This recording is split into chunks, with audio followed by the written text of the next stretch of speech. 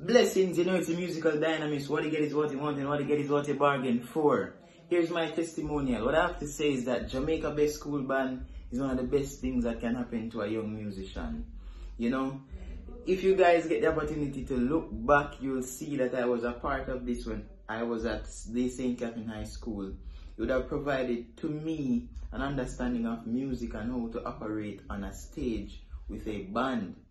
You know, Jamaica Best School Band, it offered to me the opportunity to understand that music in itself is really my escape. You know, it allows us as young people to really understand that there's a greater level of growth that we can get from music. So Jamaica Best School Band, big up on yourself because trust me, you have done a great thing for me, you know, and a lot of people that would have been a part of it. If you see the JBSB alumni, you know, we can call it that definitely. Because right now I'm a teacher of music. Yes, and trust me, they're doing a great thing. So what I'm saying is, if you are in a high school, I'm telling you, be a part of this thing because it can help you to grow.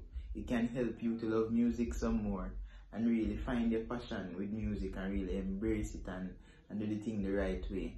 So JBSB, big up yourself right away.